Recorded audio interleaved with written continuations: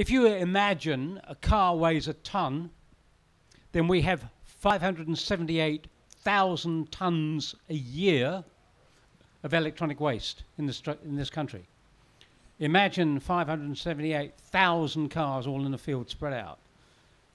And to some extent, that's what we're talking about this morning.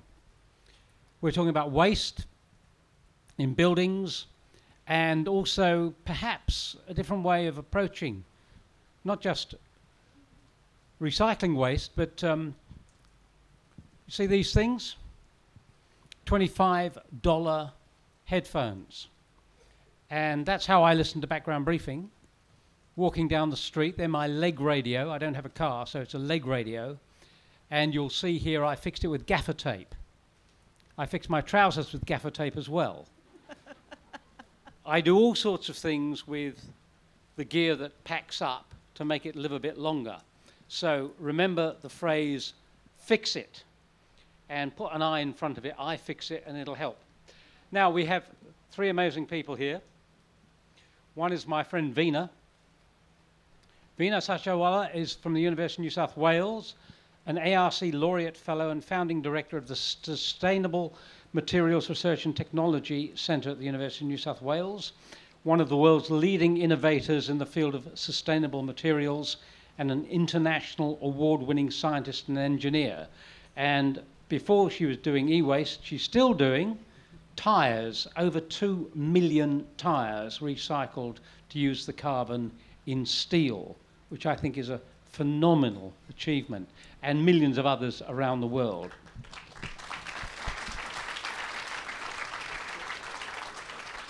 Next to her is Kyle Wiens, e-waste crusader. That's not ear waste, e-waste, electronic waste crusader and one of the leaders of the worldwide right to repair movement.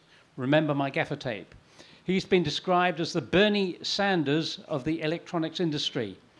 He's the co founder and CEO of iFixit, an online repair community, and Parts Retailer, internationally renowned for their open source repair manuals and product teardowns.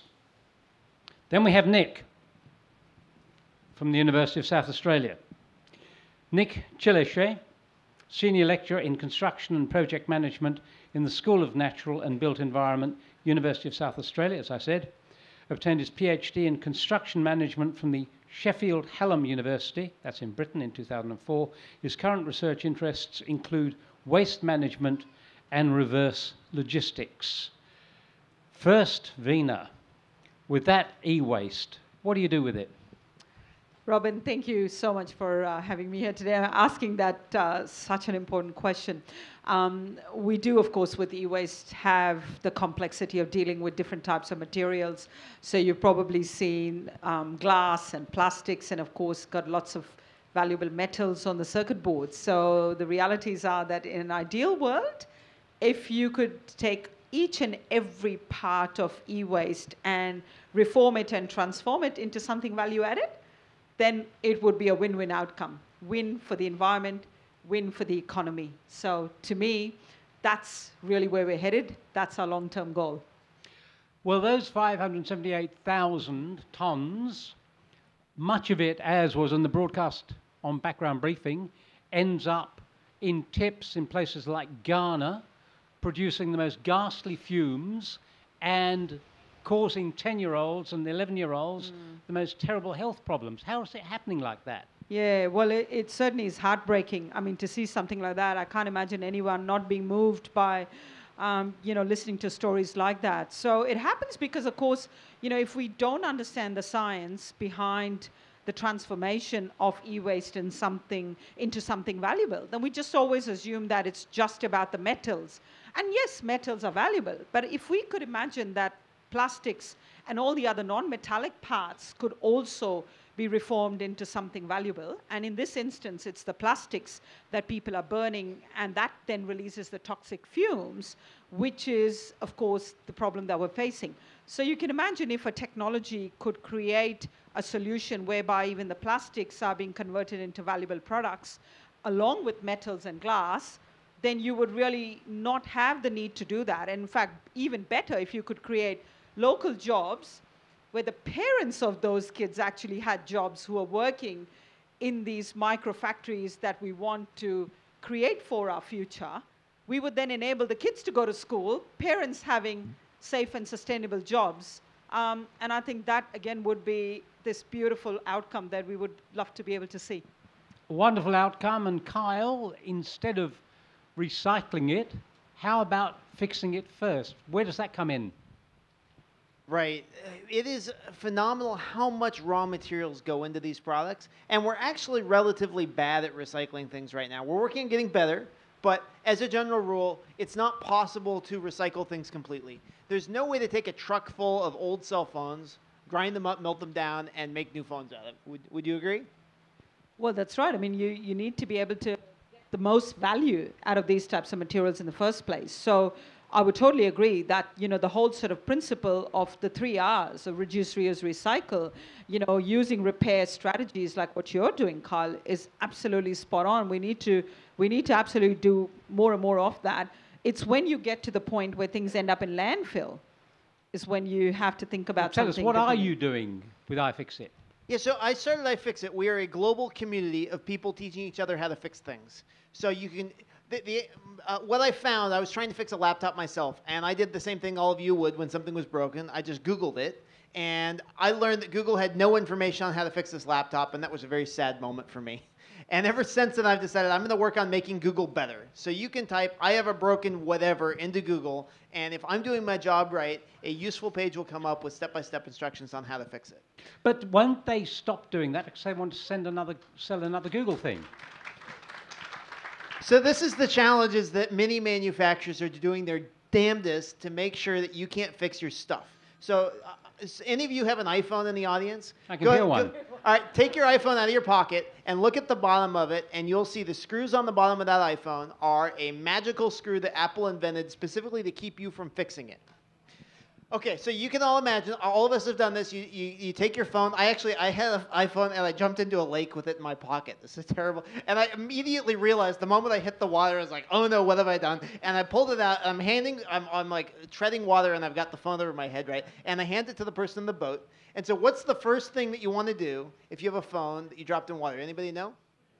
Put it in rice. That is wrong. That is absolutely the last thing you want to do. Okay, good thought though. That's the conventional wisdom. So rice can act as a desiccant, so it can pull material out. But what also happens is that like goopy rice gluten goes inside the phone. So don't do that. What you actually want to do is disconnect the battery. You want to remove power from the device. The problem is that you can't. So actually, I have I brought a BlackBerry. So on the BlackBerry, you can like swap, pull the battery out. Right? There's a there's a port on the back. It's really easy to get the battery out. On an iPhone, you can't. So to get the battery removed from an iPhone, you need a special secret screwdriver that they don't want you to have. Take it apart and then pop the battery out. So I decided that that wasn't going to stand. We went ahead and reverse engineered their screwdriver, and I've been selling and giving away tens of thousands of these screwdrivers ever since. Before I come to Nick, how many people around the world are you in touch with iFixit and how many in Australia? Yeah, so in the last 12 months, we've helped 94 million people worldwide fix their things, 3 million in Australia. That's good. That's amazing. So how many of you here have used iFixit to repair something? Yeah, all right, so we, we have a good number. Two, three hands going up. So Now- this is like the idea is that if we can get easy information on how to repair things, then maybe the easy choice becomes fixing it rather than tossing it and buying a new one. Which brings Nick in. Now, you, Nick, you're dealing with, as we heard, uh, infrastructure, buildings, full of concrete, full of plastic, full of steel. How much potential is there there for doing something on the scale you've just heard with the other things? Right. Thank you very much. Just imagine the building that we're in at the moment. This would easily be disconstructed. Okay. At the end of the show, they will remove all these parts. But do you know that the construction industry itself, you know, you've come through maybe via road, you live in buildings, we use infrastructure, bridges, and so on, is one of the greatest producers of waste. And at the same time, it does consume a lot of waste. I think about 55% of the waste from the construction and demolition ends up in the landfill. So what we're trying to do here, and piggybacking on what Veena had said, was to stop all the waste from going back to the landfill. Because if it does, then it will be producing carbon dioxide, and then it will have an impact on the health of the well-being of the people and so on. So how then can we be able to use sustainable materials in such a good manner. So to cut the story short is to ensure that instead of, those, of the waste going to the landfill, we keep it flowing in the circular economy so that we are able to recapture the value throughout the process. And that will contribute to some of the problems that we are having in terms of providing some solutions. And would developers and builders want to do that if they're running big companies? Yes, Sure, it's faster just to dump it and chuck it away. yes, they would, but the problem also is if I was to ask the people here, how many of you have ever gone to the scape? You might have, you know, passed across a building site and you've seen a scape. Would you rather buy a new material or would you rather use something from the scape? Or you might be thinking, oh no, this is waste, this is crap, I'll throw it away. How many of you have done that? You've done some renovations. Skip diving. Good. So I've got some champions. At least you are doing an excellent thing in the sense that if you had not done that, those materials would have ended up in the landfill. So the bottom line here is to ensure that we don't take things to the landfill because of the impact that you'd have. Okay. May I ask you about some of the bigger buildings? For instance, in the convention centre in Sydney, they built it in, and it was ready in 1988. Then a few years ago, they knocked it down again. Only been up for about 20 years. You know, vast amounts of building. What happens to that stuff? Right. Because the vast of the buildings that were built way back, when they were built, they were not built with the intention that they were going to be disconstructed and to be able to be reused. But that's only 1988. Absolutely. but now think of the Calypso. R- with the Calypso, now you see it, now you don't. Because at the end of the day, you know that you'll be putting up those structures and you're going to you know, deconstruct and then to be able to reuse and so on. So for those vast buildings, if you think of the materials that might be involved, I think about 40% of the materials involved could be concrete and cement, right? If it was to be demolished, you'd have to think, what can we do with the materials that have been demolished? How can we be able to salvage that? We have some companies in South Australia that are involved in, you know, salvaging um, of the construction products. And what they do, because the majority of the stuff is mostly concrete and cement, they remove all the contaminants like plastics, tiles, and so on, and try and see how the actual structural concrete or the concrete itself can be used into something else. The majority of the stuff normally it's used in the pavements. So the whole point then it would be how then can you translate the recyclable concrete into what it was in the natural aggregates? Thank you. Yes. Let me just refer to a science show I did two weeks ago when I interviewed someone, actually a schoolgirl in the United States. She was not even yet at university, and yet she was pioneering something to get all of the, say, fiberglass and plastic out of this e waste and put it into concrete, which made it last longer and be stronger. And at the end of the interview, I said, Be in touch with Veena at the University of New South Wales. I hope she will be one day, but you have got a different approach to this, taking it even further. What is it? That's right, Robyn. So, you know, I mean, the point you made about a lot of the plastics and glass fibers that are obviously present together. The reason why we make these, for example, the boards in our electronic products where the circuit is laid out, we make it out of this combination of glass fibers and plastics, is because we want it to be really strong. We wanted to have all the right kind of properties.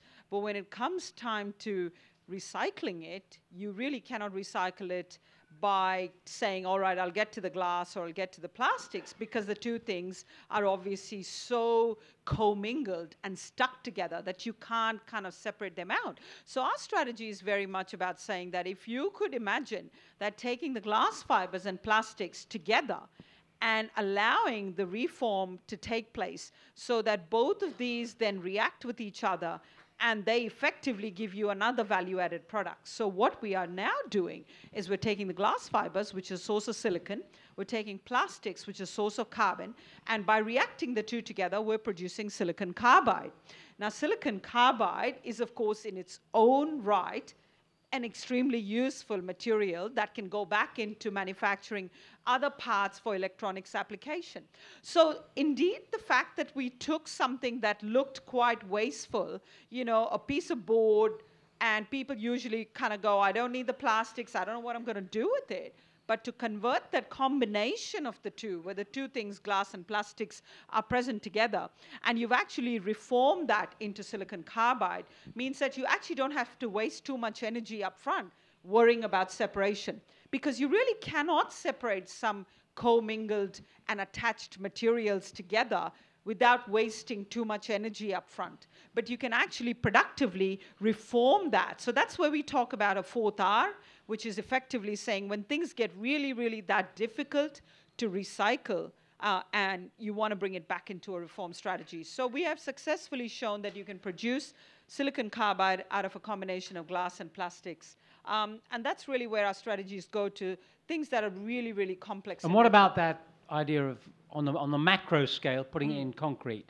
like you do your carbon into the, the tires into steel? Yeah, and, and again, a very good question. But really, what it comes down to the economics of doing all of this, right? I mean, if something is economically worthwhile, it's going to allow a business to do something and make money out of it so that the businesses can actually employ people to productively deliver that outcome, then you would say that's worthwhile doing. But if you can make something that's of higher and higher value, so like in this case, if we're talking about a value-added silicon carbide product, then you would much rather produce a niche product that is highly valuable and then supply into the global marketplace, right? Because if you're actually making silicon carbide here, which is then a component, a ceramic component, that feeds into a global market supply of electronics and products, then why won't you do that and make even more money out of it and create long-term sustainable jobs for that particular product. As long as the energy equation is right. Now, Absolutely. all of you, what do you think about the energy cost of what you just heard? I think if you can get to a point where you can separate the materials, that gets interesting. The problem is that what we're seeing is that products are being manufactured in such a way they're gluing everything together, and so getting to a point where you can separate out the different types of materials is very, very challenging. I would say the, the definition of a product being recyclable is where the raw material value in it is greater than the cost of labor and the cost of equipment to process it. Do you say that's fair? So if you if manufacturers are not funding recycling, consumers aren't generally funding recycling. So do, do any of you have an iPad? For example? Okay, so iPads are pretty cool. Okay, so the interesting thing about the iPad is that the battery is glued into the iPad. Lithium batteries last about 400 charges. So if you use a device or you have an Apple Watch, you use it, you know, and, and charge it up every night. Uh, that lasts 400 charges. After the end of 400 charges, you either need to toss it away, maybe recycle it, or get a new battery. The problem is that with some of these devices, the batteries are glued in and integrated in such a way that they're pretty much impossible to recycle economically, which means it's going to take 5 or 10 or 15 minutes of a skilled technician with the right tools to pull it apart, and it's only got a raw material value of about 25 to 50 cents is the raw material value of an iPad. You can't get an iPad safely dismantled in 25 cents worth of labor. Uh, and we're seeing this over and over again with, with types of products. Manufacturers are able to get away with introducing products into the marketplace that are not economical to recycle. I think it should be criminal. I think the iPad flat out should be banned as a product design. There's some other products, like the iPhone is actually a great product design. You can separate the, the battery from the iPhone really easily. But none of you knew that before you came here, and I told you because we're not all taking these things apart, right? So our environmental regulators are failing us. Our electronics manufacturers are failing us. We're creating products that should not exist and we're all happily going about our lives buying, consuming them, and then they end up uh, to, with a recycler who's supposed to do their best possible with it, and, and the product wasn't designed with designed for recycling from the beginning. What about the crash prevention in cars? What prevention? The balloon that blows up. Oh, uh, the, the, okay. The air, okay. Yeah, so this is another challenge with cars. Uh, I, I know a lot of folks who recycle cars, and they have the problem you, you crush down the car. Uh, and the problem is that if you crush a car without removing the airbags first, you have a problem, right? Because the airbags are basically this big explosive. So recycling cars is really a challenge. We talk about design for recycling. You want to be able to pull a whole car apart and you have to go in and remove the airbags. Well, it used to be there was just one airbag. Now in modern cars, there are five to seven airbags, and there's no information. The auto manufacturers are not telling the recyclers how many airbags there are and how to separate them. I was at BMW's recycling facility, and there's this fancy machine they plug into the car, and they let me push the button, and I detonated all the airbags at once. It was really cool. And then I said, "Hey, sir, are you selling that to all the independent uh, junkyards?" And they said, "No. Why would we do that?" I was like, well, maybe so they could recycle them safely. And they're like, no, no, no, we do, we do it safely here. I was like, okay, how many BMWs do you recycle? Does BMW recycle a year? They recycle 30,000 cars a year. BMW is making globally 3 million cars a year. So they're developing tools to handle things correctly in their facilities. They don't make it available to anybody else. Well, going back to the energy question, you, you know, you're about to take breath. What were you going to say? Well, I was going to say, Apple does the same thing. Any chance I have to point at Apple? Okay, Apple has this fancy recycling robot. Does anybody know Apple's robot's name?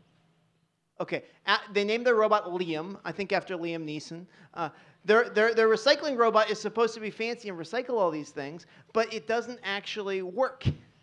It only recycles in theory a few, a few specific devices. So these companies are able to say, well, we have this fancy recycling process that works, so it's okay to consume things recycling can be an excuse for all of us to say, well, you know, we bought the product up front, but because it can be recycled, it's okay. It's not okay. There's so much raw material going into these things. We're so bad at recycling them. We need to work on figuring out the upstream problem, which is the, the fundamental problem is the amount of consumption that we are doing as a society and the types of products that we are consuming without realizing what the plan is. If everybody in the world consumed at the rate that all of us do, we need 13 Earths worth of resources. It's not going to work, and recycling isn't going to save us. Nick.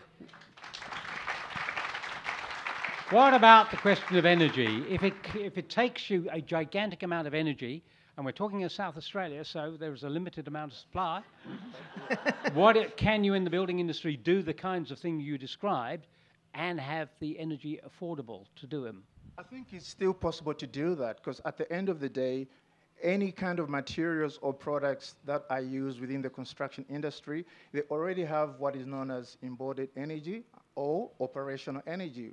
For operational energy, that's normally used when the building is being used during its life cycle. And for the embodied energy, it's when uh, the products are being used, I think, when it's being uh, produced and maintenance and so on. But coming back to what Veena had said in terms of using, um, you know, recyclable material and so on, all we need to be thinking, in even just the entire stakeholders, how can we then be able to come up with some sustainable materials?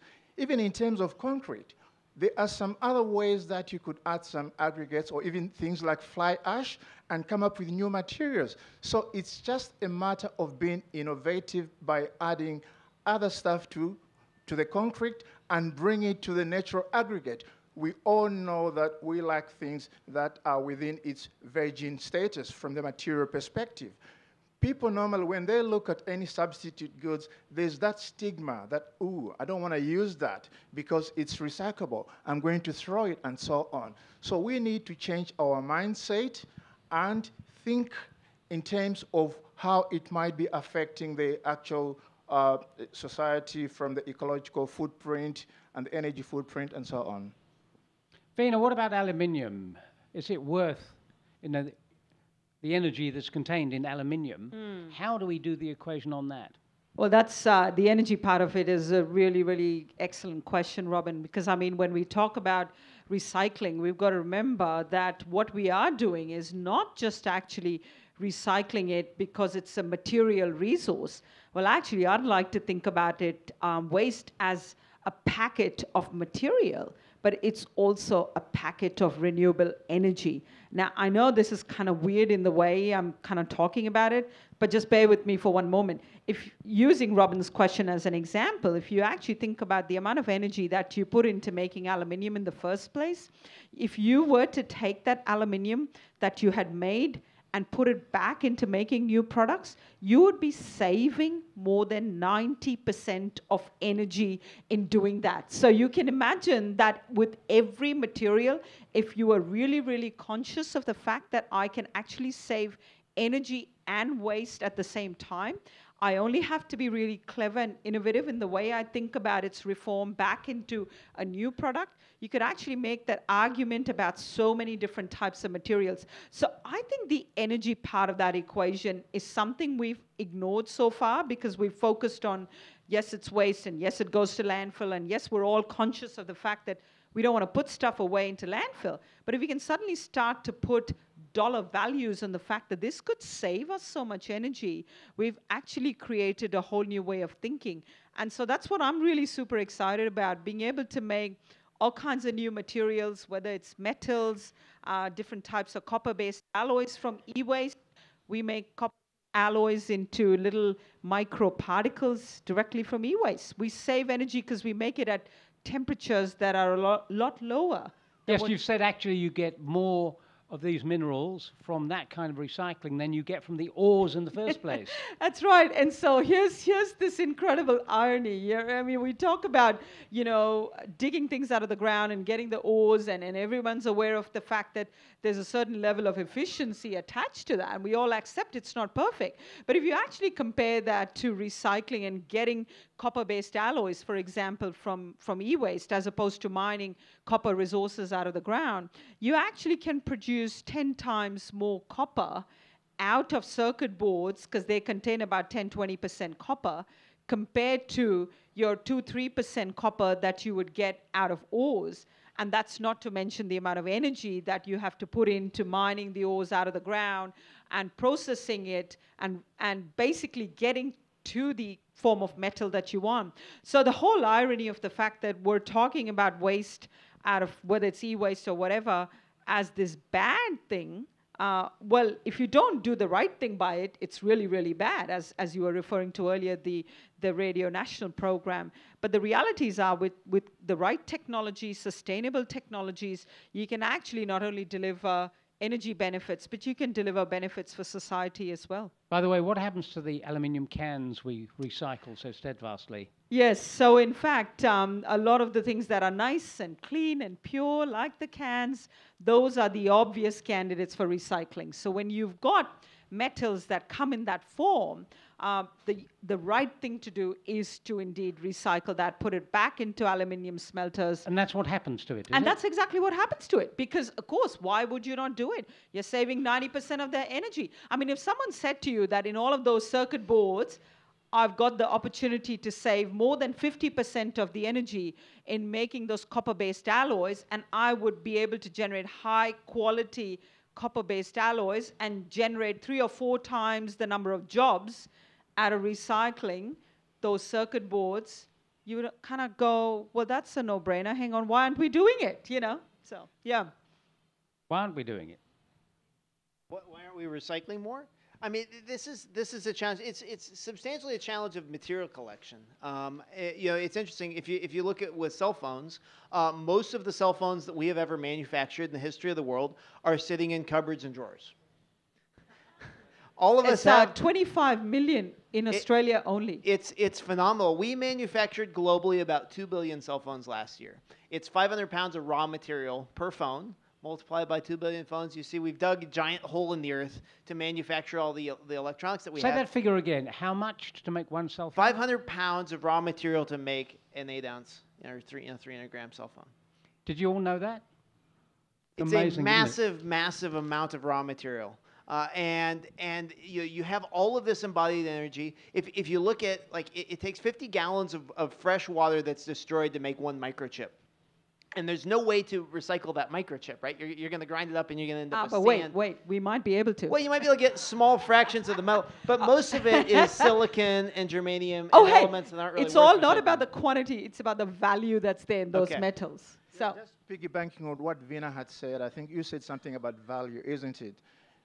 Instead of the quality, as long as you can be able to capture the value and keep that material or the product in the flow, then it means that we are on a winning formula. So let's forget about the landfill for now and just continue keeping those materials and products in what is known as the circular flow of economy, then that is the right way of going about it. yeah, absolutely. So let, us take a step back from the environmental impact and, and talk about reuse. So you can take a cell phone, you can actually take all the pieces of a phone out and you can repurpose them. So the cell phone chip or the baseband processor that, that's in a cell phone has three to five dollars in patent licensing that's paid to make every single chip. So if you shred that, you lose all of that economic value, and that's just in the, the patent license. Where if you can take that chip out and use it in something else, there's a phenomenal amount of value. So what we need to do is figure out how do we, if we're going to go to all the environmental impact of manufacturing products, we need to make them last as long as possible. Oh, look, life and extending life of product is absolutely core to all of this discussion. I mean, you really want to be able to extend the life of these products. You want to get, you know, and, and we were talking about earlier, you know, what is it that you want in terms of the value Maybe plug your Closer like that.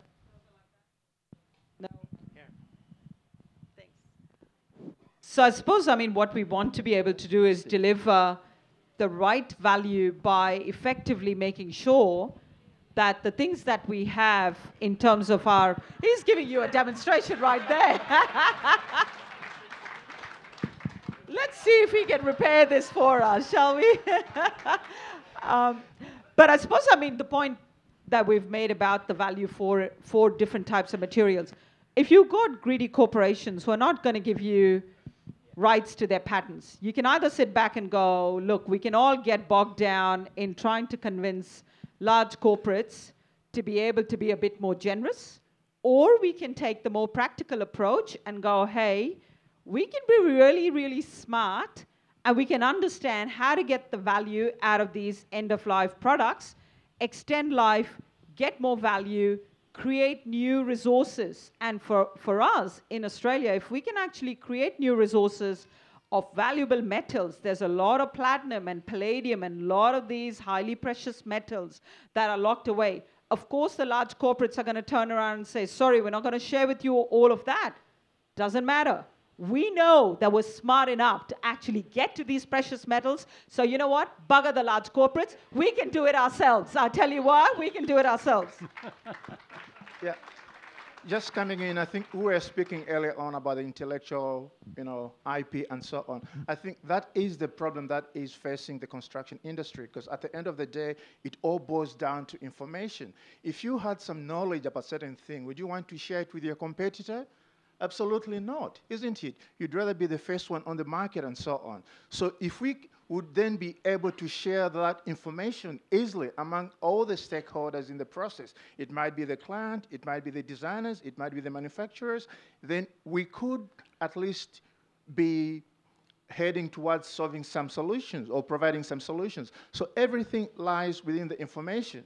And with information comes also uncertainty. And also once it comes to whether we have to recycle or not, again, it boils down to trying to ascertain the quality of that product. If we can convince, if I was able to convince the people who are sat here that any of the salvage materials, they are good, you can use them, then my philosophy is that let's just try and avoid sending stuff to the landfill. But to do that, we have to change our mindset and also change our perception about the usage of those salvage products. Right. And if I can build on that, the information is so critical. We have a world of all of these incredibly complex products. And the information, in order to be able to repair or reuse them, is going to have to come from the person who designed them in the first place. So I started iFixit because I was trying to fix my laptop and I was searching on Google and I couldn't find repair information for it. I muddled through the repair and I kind of botched it. I mostly got it working. And I did a little more research later and I learned that the reason that the repair manual for my iBook wasn't on the internet was because Apple's lawyers had sent threatening letters to every single person that had published the information, telling them to take it off the internet. And we found that there is a systematic campaign on, be, on, on the part of the manufacturers to prevent this information from getting out there. And they say that the reason is that they're afraid that people will use this repair information to copy their products. But in actuality, it's a form of planned obsolescence. They want to prevent all of us from knowing how to fix things. Uh, and it causes problems for recyclers too, because they don't know how to separate out the different types of materials. Yeah, can I just chip in, Robyn? Okay, Nick. Yeah. And again, because I'm speaking from the construction industry perspective, or building, or whatever you may choose to call it, that brings us to the notion of procurement. There are various procurement strategies that you can put in place where you bring together all the necessary stakeholders and you're able to share that information readily among the parties.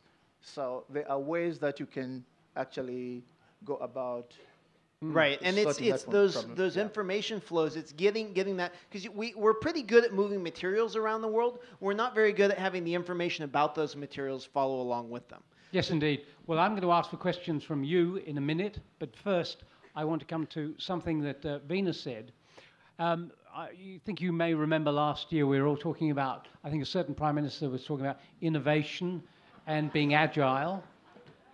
Well, what about the corporations? Without naming and blaming, what if you had name and fame of those who are doing well? What do you think about that? Are there any good corporations doing it now and doing it well? Oh, look, absolutely, Robyn. And you're absolutely right in raising that point, right? As much as I have said, you know, bugger the ones who are the greedy corporates, uh, there are equally good ones who we should be celebrating.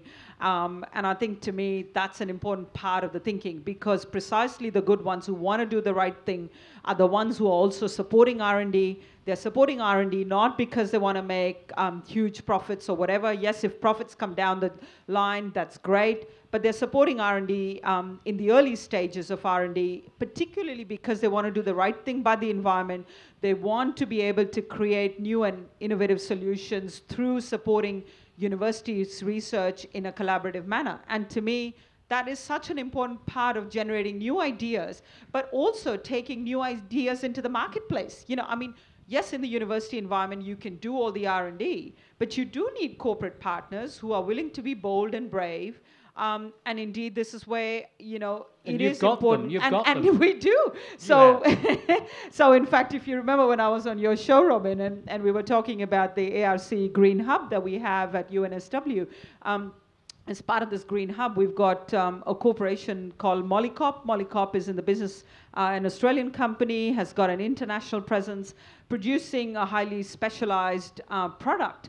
And as far as they're concerned, the fact that this product could be enhanced and without giving away, you know, all the sort of scientific details and boring you on a, on a beautiful afternoon like this, but to be able to take waste resources and to convert them into high value, high performing product is, is literally breaking ground when no one else in the world has shown that this can be done. And the fact that we can do this in Australia, we can do this with support of our industry partners and create a lot of world firsts in terms of products that are being made as high performing products literally from waste means that it's it's good for this business in the long term but it's also good for our environment because we are using waste not just to chuck it into landfill but indeed to be able to reform them into high value products. An example of silicon carbide I gave you earlier uh, is a, a high performing ceramic material. And we're doing that out of using waste plastics that come out of cars. So our green hub is all about using, you know, waste materials from cars. So if you take the waste plastics from cars, you can make high performance ceramic materials. Now you would sort of sit there and go, huh? But the fact is that all of that science is something that is being funded through Australian corporates who believe that doing, you know, cutting edge R&D is going to be in the long term good for our planet. And that's why we're doing it. That's why we're doing it. Right, questions, hands up. And uh, the microphone at the front. Thanks, Robyn. Um, so let's say name and name and fame is is a great plan, but companies do like making profits, and, and without a cradle to grave responsibility for waste, why would they stop making those profits? Do we need something in a legislative, uh, regulatory environment, or will this just happen naturally through those innovative companies? I have been trying to negotiate with these companies for the last decade to try to come to some kind of consensus. I've worked on on- in a lot of the incentive, the green environmental standards for electronics. I've been involved in developing every single one uh, over the last 10 years. The companies are intransigent. They do not want to share it. So we're talking about this information flow. They are not willing to allow the information to flow. Uh, and so we've dis- we've come to the conclusion this is we in the environmental movement and in the repair world, all the independent repair folks that are out there trying to keep things fixed, that the companies aren't going to come along willingly and we have to pass legislation. And so there is a wave of right to repair legislation that's being introduced across Europe and the United States this year, uh, where it will force the manufacturers to make to sell parts and to make repair information available. Uh, there was a hearing yesterday in Nebraska Yes, so this is a very exciting trend. And we're saying basically if you're going to make a product that's complex, that requires specialized information to repair, then you got to make that available to the customers.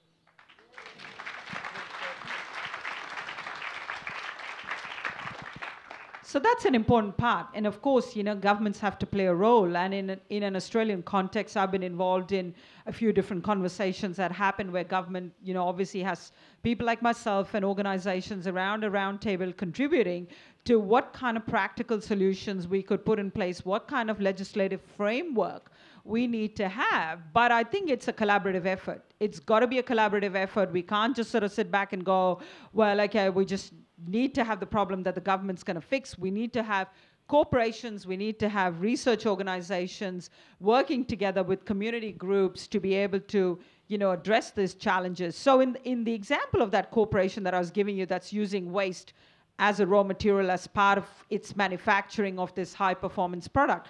Now, as far as that company is concerned, they're not making that waste in the first place.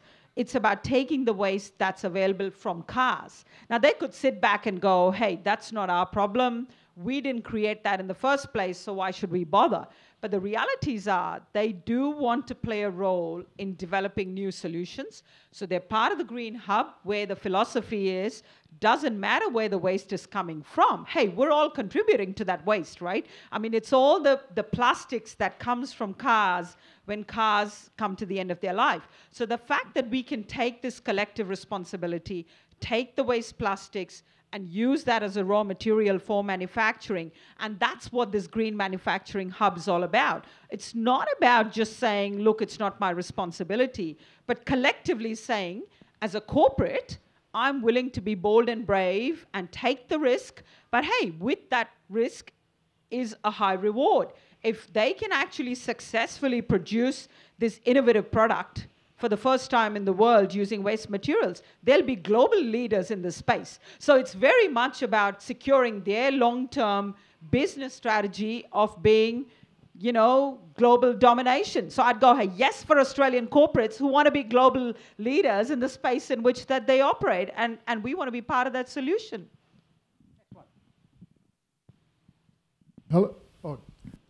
Um, uh, one of the things I, the recent waste seminar I went to, uh, they brought up the issue of uh, energy from waste. There's a lot of um, waste facilities actually burning uh, waste to get energy, uh, but one of the, the problems with that is a lot of toxins and stuff are released. And they actually put forward the idea of actually landfill. A lot of this stuff is actually sequestering carbon, and it was another opportunity rather than um, get releasing all the toxins and getting energy, actually putting it in the ground if we've got the, the spaces, and it's one way of sequestering carbon.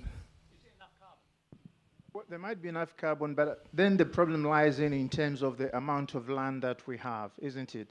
If we if we were to go with your argument that you know you'd be able to put that waste in the in the landfill, let's think in terms of the depleting natural resources.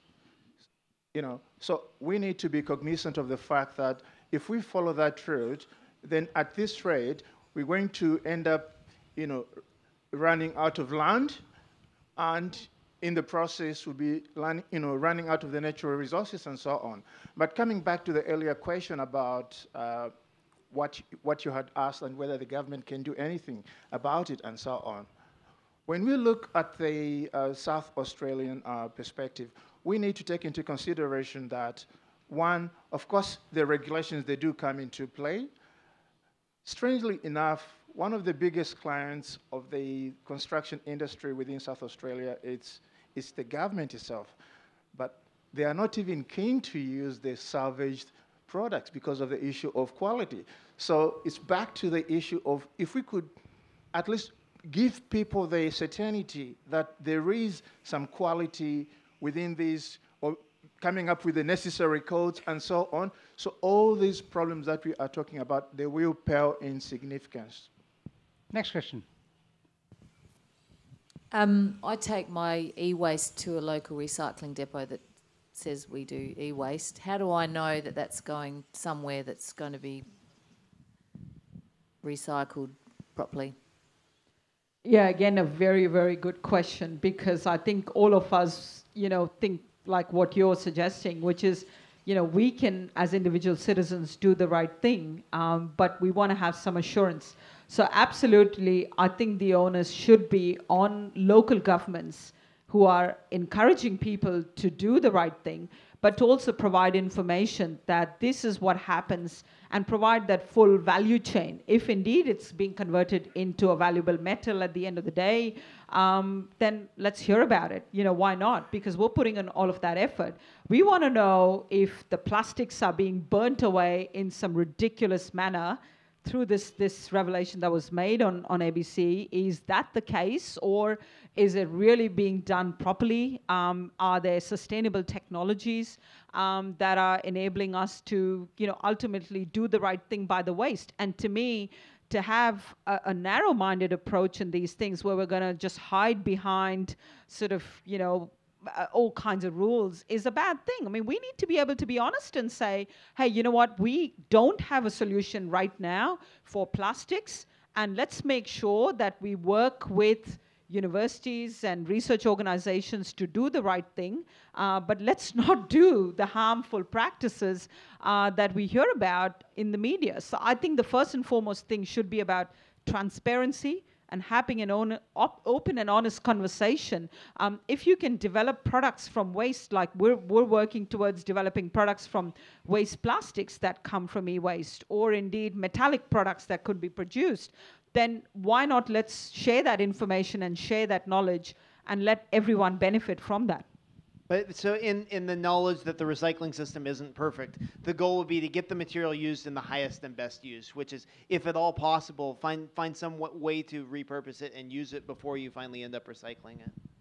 I agree with the with the point that you've raised. Obviously, if we can be able to convince the a public or at least find some mechanisms for communicating with them in terms of the benefits of waste management and so on, then that will go a long way because that is one of the inhibitors or the barriers to people using salvage products because they don't know and that might you know, lead you to asking the question as to how do I know that whatever I'm taking to the skip is going to be used in this manner?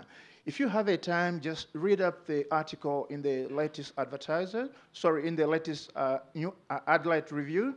I've done an, an article there, it's called The Road to Waste Reduction. And within that, I have outlined some of the principles. And one of the principles alludes to something that you just mentioned, communication, and also communicating the benefits of waste management, making sure that the society they're also on board in terms of what happens to the waste that they take to the skips.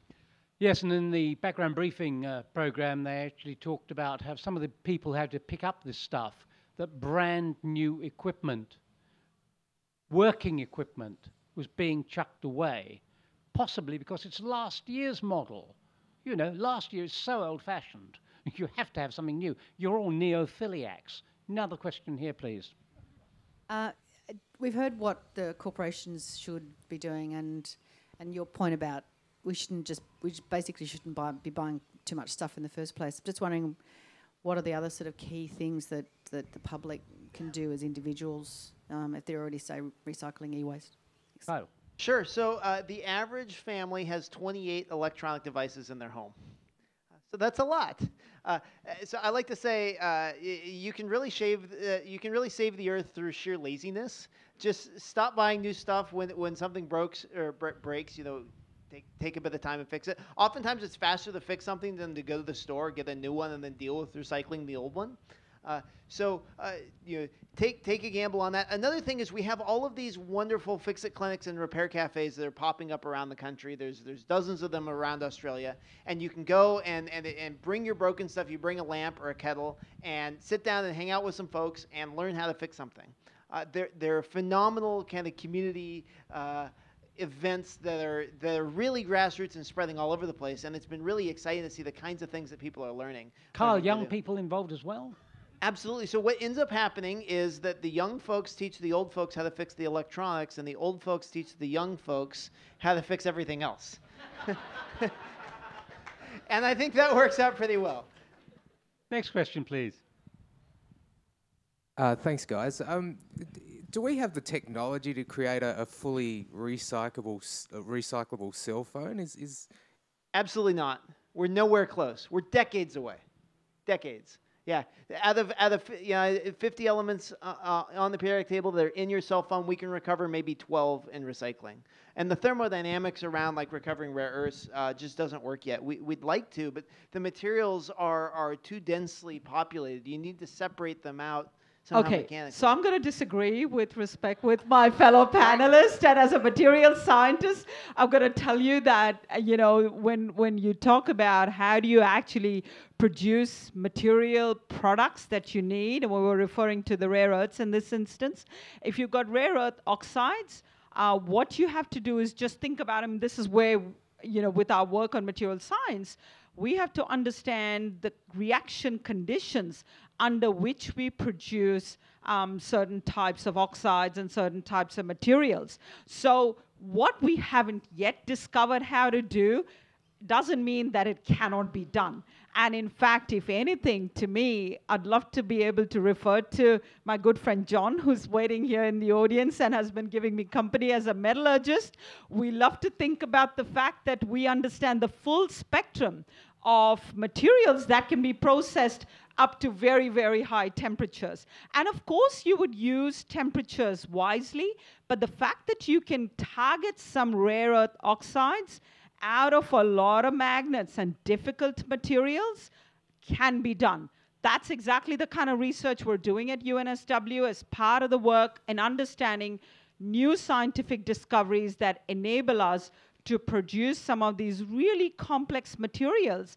But the challenge is doing it by taking recycled and waste materials that people are putting away into landfill. I'd love to be able to think that in the future, we're actually going and mining our landfills and going, oh my gosh, how do we put that stuff in there in the first place? You know? Well, so this is the difference between a scientist and an engineer.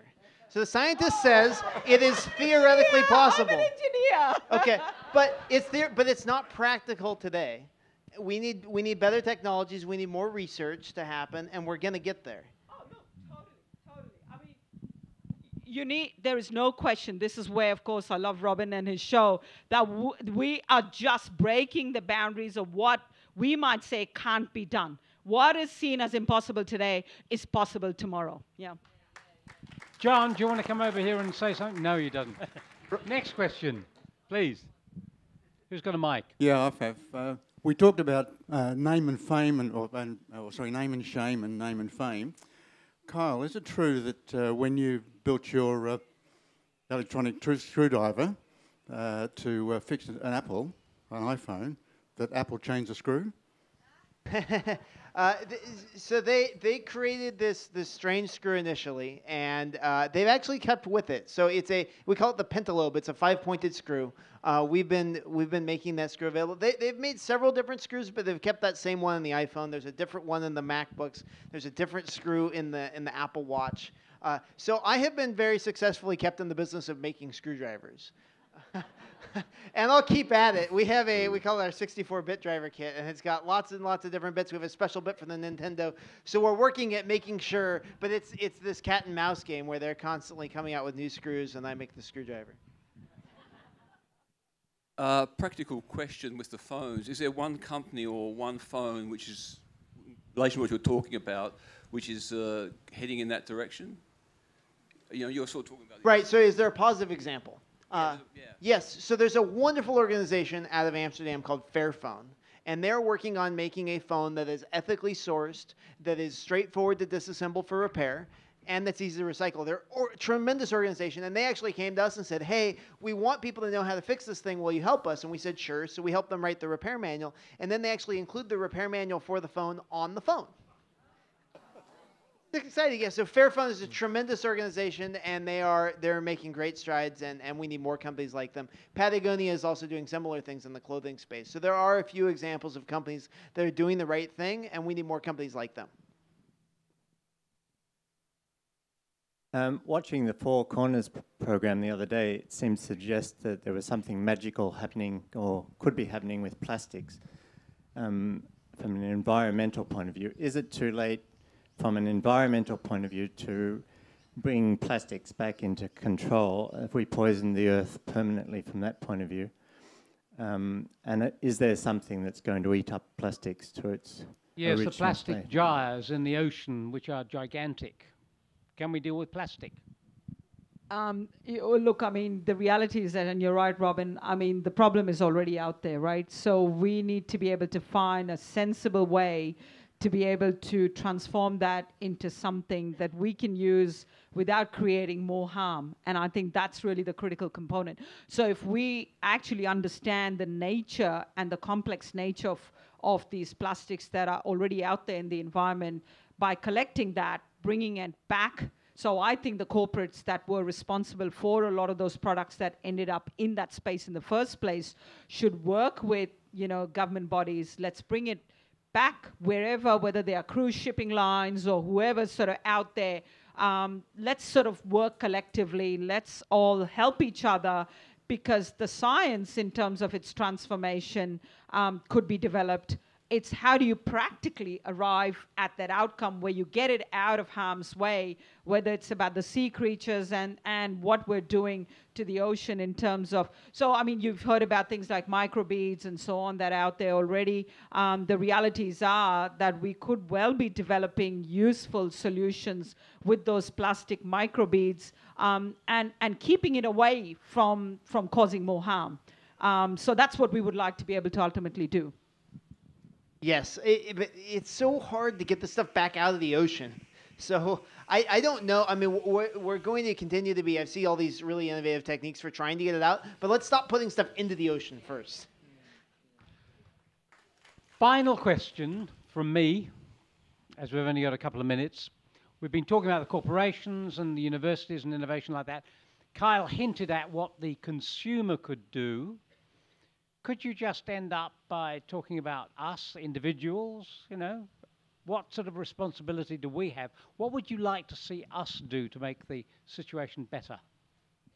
So I'd love to. Uh, one simple example could well be that you know the longevity of the products, and I think we were talking about that earlier. You know, if we all individually purchased less, and the way, of course, we can purchase less is to be able to make sure that we extend the life of our own products and things that we use at home. Uh, so yes, I've got my phone, which is more than sort of five, six years old now.